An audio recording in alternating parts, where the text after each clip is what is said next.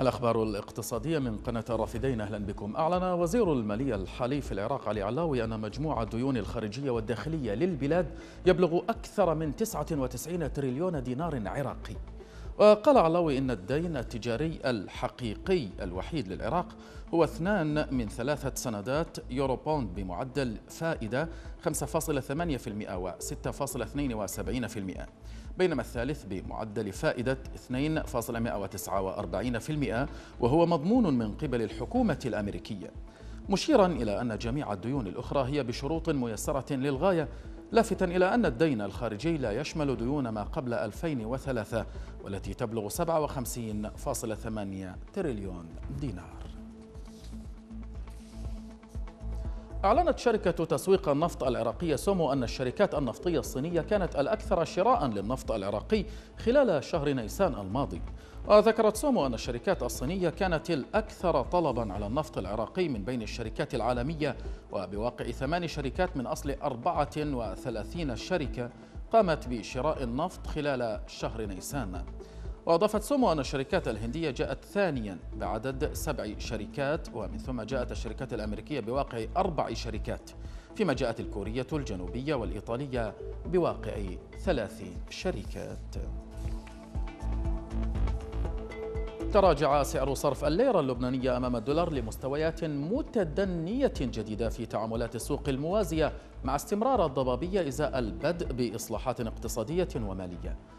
ويباع الدولار الأمريكي في الأسواق الموازية اليوم عند 35 ألف ليرة لكل دولار واحد ليرة مقارنة مع 34.8 ألاف ليرة في تعاملات الأمس. ويعاني لبنان من أزمة مالية واقتصادية منذ الربع الأخير 2019 أدت إلى تدهور أسعار الصرف وضعف ثقة العملاء بالقطاع المصرفي المحلي الأمر الذي قاد نحو شح وفرة الدولار في السوق المحلي. ارتفع مؤشر الثقة في الاقتصاد التركي 2.1% على أساس شهري في أيار الجاري ليبلغ 96.7 نقطة. وبحسب بيان هيئة الإحصاء التركية فإن تسجيل هذه الزيادة جاءت نتيجة ارتفاع مؤشرات ثقة المستهلك وقطاع الخدمات وتجارة التجزئة. وسجل مؤشر ثقة المستهلك في أيار زيادة بنسبة 0.4% ليبلغ 67.6 نقاط على أساس شهري. ومؤشر الثقة الاقتصادية هو مؤشر مركب يحتوي على تقييمات وتوقعات للمستهلكين والمنتجين حول الوضع الاقتصادي في العالم. يتجه البنك المركزي الأمريكي إلى تسريع وتيرة رفع أسعار الفائدة لاحتواء التضخم. وبحسب آخر محضر اجتماع للبنك فإن جميع أعضاء لجنة السياسة النقدية العشرة في الاحتياطي الفيدرالي مصممون بقوة على احتواء التضخم من خلال سياسات من شأنها الحد من وتيرة زيادة التضخم. وأفاد المحضر إلى أن البنك ينوي رفع الفائدة بواقع نصف نقطة مئوية ليصبح نطاقها 0.75%